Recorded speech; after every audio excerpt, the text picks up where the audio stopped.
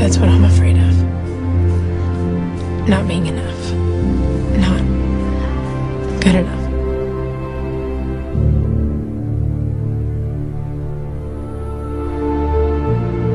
I was afraid of getting my heart broken again. Most of us prefer to turn around and go back.